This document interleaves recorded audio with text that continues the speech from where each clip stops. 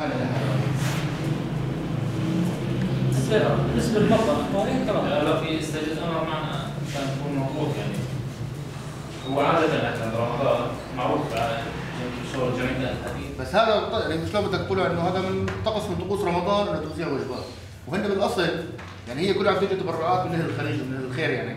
فهمه شو هو انه يفطر الصائم. نحن جهزنا قوائمنا كلياتها الأسماء كلياتها عندنا جاهزة. هذا الاجتماع تنسيقي مع ما بين المجلس المحلي والجمعيات التي تقدم آه، مشاريع في رمضان مشاريع أفطار صائم والمياه للاخوه المواطنين.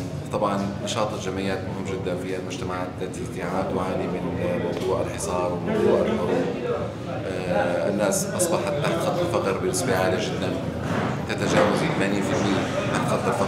وبالتالي لابد من تدخل المنظمات الانسانيه والجهات الاخرى الداعمة وأهل الخير في مساعدة الناس على شهر الصيام لا سيما أنه بفصل الصيف آه، وهو معاناة كبيرة جدا. الناس في حالة مادية سيئة.